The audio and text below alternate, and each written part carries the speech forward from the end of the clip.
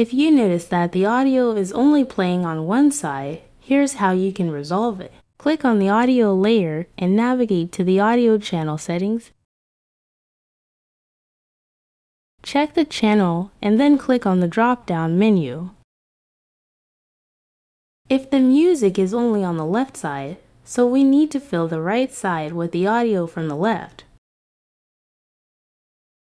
Now you can see that now the audio is balanced on both sides.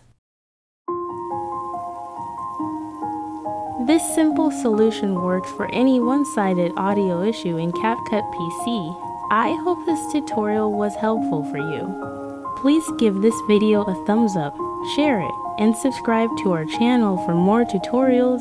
Thanks for watching.